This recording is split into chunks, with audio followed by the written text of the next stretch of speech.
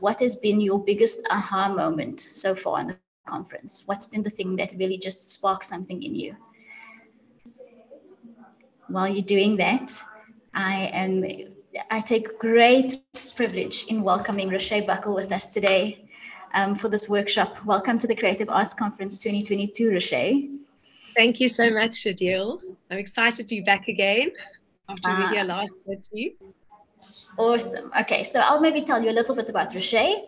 She is a well-known and loved play director, an ex-drama teacher at Rustenburg Girls Junior, and is currently the head of culture at Parklands College in the pre pre preparatory faculty. Today, Roché is going to talk to us about the great mad idea, how to use an idea and incorporate music, art, and drama with the potential of turning the idea into a project-based learning experience. And with that, I'm going to hand straight over to you, Roché. Thank you so much, Adil. If you wouldn't mind just um, sharing my slides for me, that'll be amazing. so yes, so some of you asked about what a mad idea is. And a mad idea is basically incorporating music, art, and drama into one idea. Um, and I've done it often and it's very exciting for me and for my teachers that I work with. And I'm going to give you, hopefully inspire you uh, to do that too. So incorporating the ideas, oh, there we go, that's our first one. And if we go to our slide two, you'll see there's me.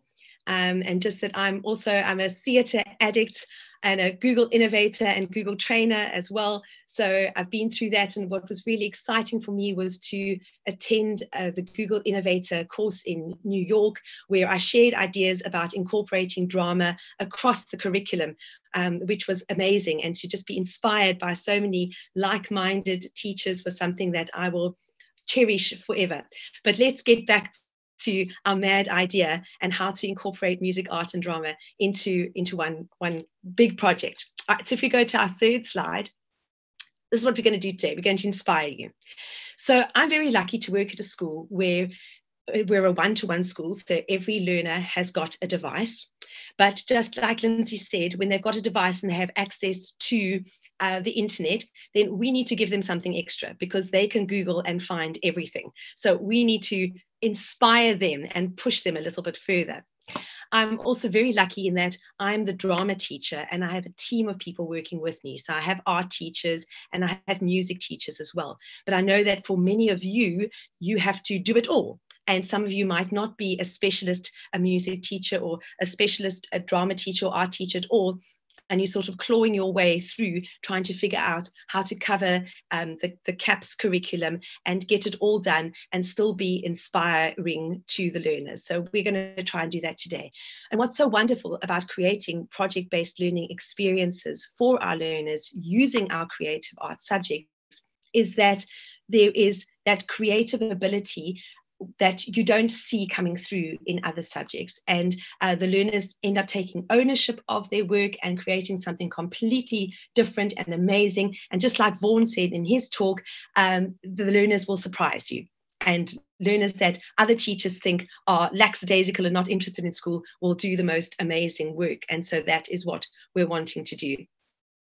Um, so my culture department has embarked on many, many MAD projects. We've looked at our uh, CAPS requirements and we've realized that if we combine projects, we can cover so many of the um, the assessments that are needed and get so many marks from it because the planning process covers vital skills. So, uh, for example, if you are drawing in your visual diary, you, you're covering a line drawing and sketching, uh, planning your dialogue and rehearsing your dialogue in drama, you can cover that. And of course, planning music sequences. And if we give these learners guidelines, but the freedom to experiment artistically, um, then they create this wonderful work. And because they are doing the same project in three subjects, they can be working on this project throughout the week and they can get inspiration from all of the teachers that are working with this project. And then um, they, their interpretation will just be incredible. So if we then take a project idea and we add in a non-googleable real world driving question then we turn that into a project based learning experience because then the learners are working towards finding an answer to this question and it's their interpretation of the answer which is the final product which turns it into a project based learning experience. So let's have a look at how we can do that. Now don't be nervous. This is something that you can do i promise. And what you need to do if we move on to um, slide number four please daniel is that you need to work and look at your strengths. So, as a drama teacher, my immediate go to is to go to a poem or to go to a script and to see how I can use that as a project. And that, that's great because that's your comfort zone. And once you take something that you're comfortable using, you can then expand. But I know that there are many music teachers on this on this call, and so I think let's let's have a look at some music. So, for example, if you find a piece of music um, any instrumental music. Maybe you're working on rhythms or patterns, as we saw in the curriculum within your music lesson. Then the learners can listen to that music and they can imitate the rhythm or look at the pattern and work out that pattern using their hands or shakers. Or uh, my learners can use apps because they have it available to them. Then you take that same music and you add in a drama element and you say, right, if you're if you were watching something on TV and this music was playing in the background, what is the action that you would be seeing happening on the screen? And now I don't just mean, oh, they're dancing or they're playing the guitar or whatever it is. What are they doing? Are they walking slowly? Yes. Why are they walking slowly? Well, because they're actually creeping down the passage to take the last piece of chocolate cake out of the fridge or they're walking slowly because their shoulders are drooped and they're feeling sad. So we're bringing in a drama element into the music. Then, maybe depending on the age group, we look at this and we think, right, now, how are we going to bring in some art? Well, we're going to make a movie from this, or we're going to make a poster from this. So let's design the outfit that the character is wearing, or let's design the logo of the movie. And so that is how we then put all three elements together from one piece of music. And we could turn it into a project that ends up potentially being a project based learning experience. So, what I'm going to do now is in the next slide, if you turn to slide number five, I've got um, some music, and there's some fabulous royalty free music that you can get from Pixabay. So, take that link and use it pixabay.com forward slash music. And we're going to play this music and I want you just play 30 seconds of it for us, Daniel. And I want you to listen to it and then think about the action. What is happening?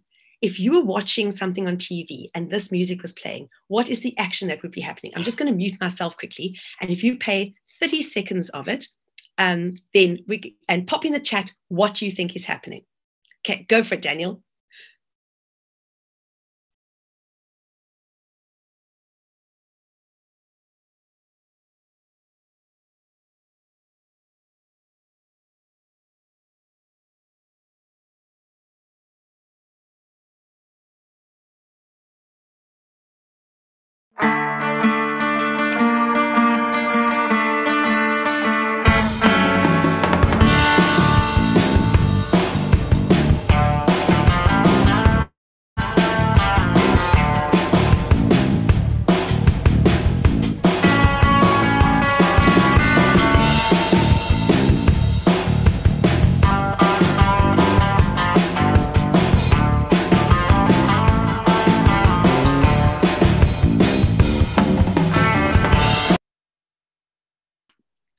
Brilliant.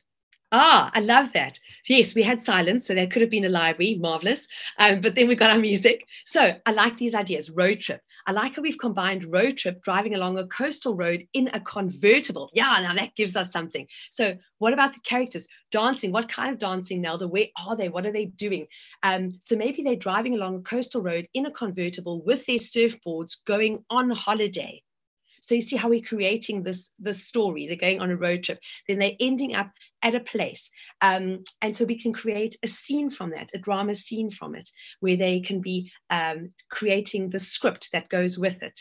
And then we have our characters and we think about right so what is this character going to say to the other character maybe the character who's holding onto the surfboard is saying something to the person who's driving or maybe somebody in the back is wanting to stop because they, they need the loo or or something like that so we're building on this um, dialogue and we're creating a script from it a character is chewing gum yes i love that i can just see that okay so then you take that idea and you think, now we need to add in our art element. So, what are we going to do? Ah, I know. Let us design the clothes because now I've got lively and 60s. Nelda said 60s. So maybe we design the outfits that these um, characters are going to wear. So in our art room, we then find maybe recycled things and we create the outfits. Then we've got our music, we've got our script and we've got our drama acting and we've got our art all together. And there we've made a mad idea from one piece of music. You see? And we did it in 30 seconds. How easy is that? Okay, so that's what I mean by using a mad idea. Okay, so let's go to slide number six, um, please, Daniel. So the idea, once we start as teachers, we yes, you can design the convertible and surfboards as well. Yes, yes, yes, you can. You can absolutely, absolutely. You see these ideas just spring. Um, as teachers, we automatically, when we start something new, say, right, we're going to do a scene, or we're going to design a poster, or we're all going to present. And we all we give them this idea so that all the children are ending up with the same final product. Now, although that is great because we're guiding them as to what we want them to create, it's not really a project based learning experience for them as teachers, we need to give them the tools to enjoy that experience. So, in our art, we are teaching them how to do line drawing or sketching. In our music, we're teaching them about rhythm and patterns. In drama, we're teaching them about presentation skills. And then to let our project be turned into a project based learning experience, we need to say to them, right, you know all of those ideas, you've got all of those tools. This is the question that we're asking how are you going to present your final product? What is going to be your best way of doing it? And some children might present their final product as a scene. Some children might present it as a piece of music. And some people might present it as an artwork that they create. And that's how we create the variation by uh, the variation from taking something from a project into a project-based learning experience. Are you understanding me? You know, because we can just combine subjects together and they they it's a combined project. But PBL means that final student voice and student choice. Okay. All right. So I want to show you on the next slide, there's a video as to how we started at our school. So um, when we press play, you'll hear I'm talking about how we did this project. Now, in this video, this is just a music, art, and drama project. And we have taken this idea, this was from, I think, 2016, 2017, and we have pushed it and turned it into more of a project based learning experience because we've given them non Googleable questions to answer at the end and they've presented it differently. So if you just have a look at this one, um, it just gives you an idea of, of what we did. So I'll just mute myself and then you can press play, Daniel, and hopefully we won't be in a library. Creative collaboration between subjects is interesting for learners and educators, especially when ensuring that vital elements of the curriculum are covered. The creation of 2D and 3D objects and using clay to sculpt are essential elements of art. Composition and African music is part of the music syllabus, and using scripts, creating dialogue, interaction between characters, and voice modulation form the basis of the drama syllabus. We created a Google Classroom for each class where we shared the project brief and gave an outline of the expectations for each aspect of the project. This included the rubric. The planning process was very important, and the learners used their visual diaries to draw the outline of their sculpture.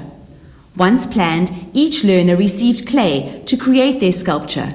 They were very diligent in the manner that they created the sculptures and used toothpicks, flat lollipop sticks, and earbuds to create texture. The results are quite amazing. Animals, masks, and figurines filled the kiln to capacity. Many apps, including Popplet and Docs, were used in the drama room to create the character profile and plan the setting and script. Interesting openings were encouraged.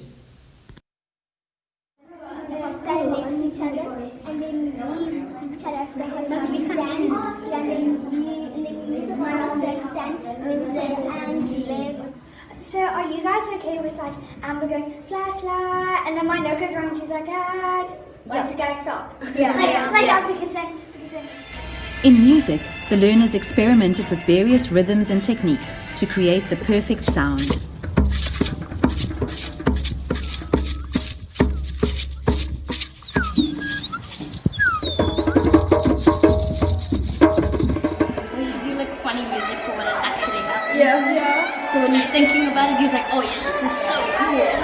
Of excited learners planning and preparing filled our cultural quad and led the creative process.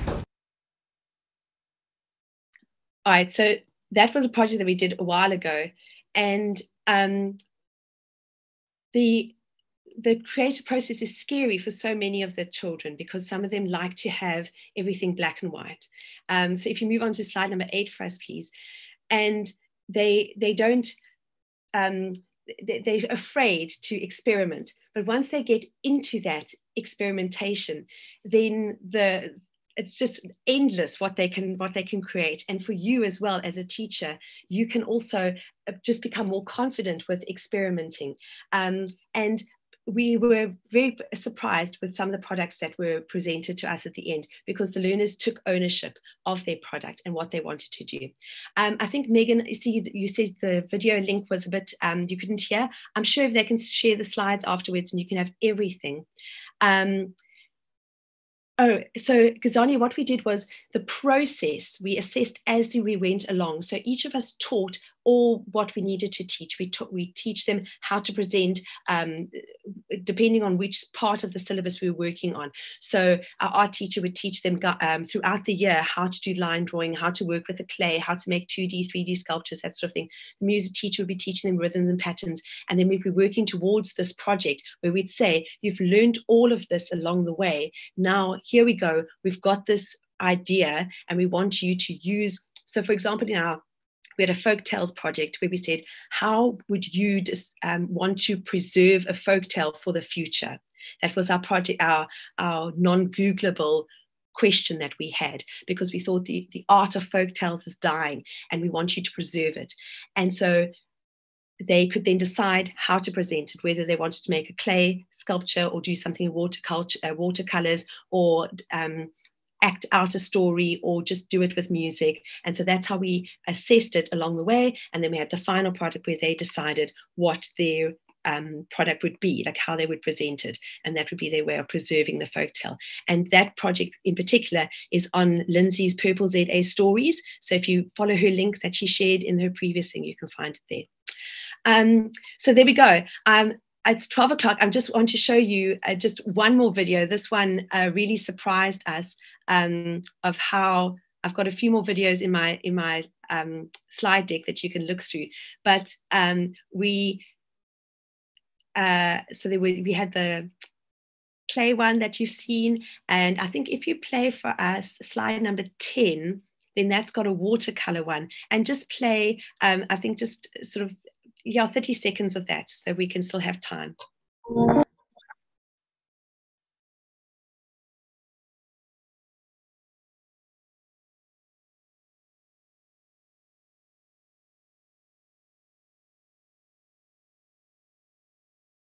all right let's leave the videos. Um, you can have a look. I think share the share the uh, link to the slides and then you can have a look at those other videos and see what we did. Um, but the main thing is that when you give the learners the opportunity to experiment with what they've learned in answering a question, then they go on a journey of discovery. And th- that's what you want because you're learning and discovering as well. And then they, um, they, they present it in a way that you would never have thought possible. Uh, and they learn from it then and they remember it. And when you reflect on it, you can think about how you can improve each year and make that project even better because that's what we've done is if we've improved each year with what we've done. Um, and the important thing to remember though is that you need to chat. You need to find a colleague. If you are working on your own though you need to find that colleague to chat to and just collaborate because when you chat and share ideas then the mad idea becomes even bigger. And once you have become comfortable with using your creative arts subjects in a project-based learning experience, you can then take that further. I saw somebody put in the chat in Vaughan's session about English. Yes, you can get an English writing mark from writing your script, or you can put in you can get um, an oral mark from the presentation as, as well. So all of those can be included um, too. So just, just think about it, think about collaboration, but try it on your own first and become comfortable with it because it is a scary thing. But once you start, it will be fine. Okay. Dion, you want the link to my slide deck. Um, can you share it, Daniel, or would you like me to do it? Yes, oh, Daniel's sharing the link now. Thank you. Marguerite, you can decide how long this project needs to take. I know that um, sometimes um, it becomes daunting to do it, and depending on how much time you have, with your classes. So you might want to do a project over a whole term. Um, you might want to do a project over over two weeks, but it all depends on the time. So for us, because we have three teachers working together, it ends up being two hours a week that the children have to work on this project, um, and it makes it it makes it easier for them uh, to get through all the work that they need to do. But because we collaborate, um, they might do some of their artwork in drama or they might do some of their music in art because we're all working on it together as well. So once you've launched this idea and launched this um, project, then working together makes it easier for the children as well. And also, they can see that all of the teachers are invested in it and they can see that the teachers want them to succeed. And, and that's what you want as well, because then they work even harder. Is there anything else? I can answer or um, Roché, thank you so much. The thing that I'd like to ask about in, the, uh, in your presentation, you spoke about the difference between just a big project and a real project-based learning experience. And and yes. also another thing that you're drawing on is just the key with the key to it all is the real collaboration between teachers. And so, how do you get the buy-in of teachers to really go for a, pro- a true project-based learning experience um, if this is something that's perhaps a new concept? Well, the way we started was we sat down with a cup of tea and we said, right, let's let's do this, let's do this together. And so th- that first one that you looked at, the art teacher said, well, I need to make 3D sculptures and I've got some clay and I need to do clay. And I said, right, I need to do folk tales. Okay, fine, fabulous. And the, the music teacher said, I have to do African music. Great. So we can put this all together and we can create a, and because we have got um, access to devices, we could create videos where the, the animals became the telling the folk tales with the music in the background. But it was just chatting, talking, and working together. Um, and I think that if you have one person who is enthusiastic about it um, and shows the potential to other teachers and shows that actually you're going to lessen your workload if we work together then it's it's it all comes together in the end. And uh, from one year to the next it just gets bigger and bigger and bigger. I mean we even had one year our isiXhosa teacher involved in our project as well um, because she was doing folk tales too. And so we had some that were translated which I, I think is amazing so you can you can do that too.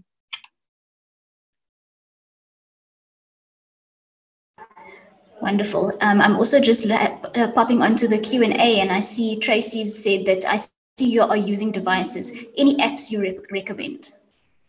Oh, you see, we have got Apple devices, so it depends on what you want to use. So for us, when we're doing final presentations, we like to use iMovie and we incorporate GarageBand for our sound. Um, we use voice memos to record voice and then pop in. Uh, as far as um, collaboration on writing, I really love the Google Workspace for education tools, um, being a Google innovator and trainer.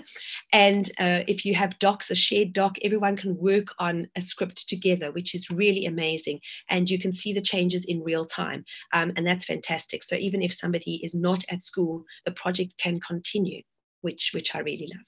And because we share it all on Google Classroom, teachers have got access to it as well and can guide the children along the way. Wonderful. What I really loved about students being able to choose the form in which the final product takes is just the, the ownership that a student can take in that regard. I think it's just absolutely lovely.